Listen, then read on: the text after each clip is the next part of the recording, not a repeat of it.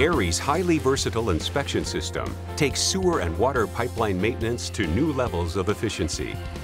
The heart of the system is the Badger, a rugged six-wheeled camera transporter. A powerful motor pulls the tractor through the most challenging pipeline obstacles. A high-definition camera sends crystal clear video images back to a control room.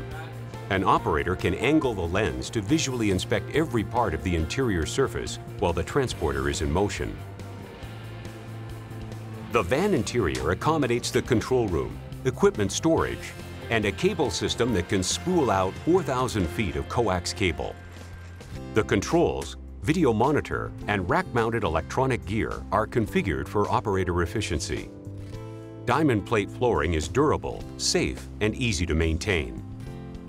And now, Cubex also markets the PE3420 camera, it features the industry's first wiper system for rotational lenses. The newly developed camera eliminates time loss due to having to retrieve the RoboCam just to clean the lens. Call Cubex for more information.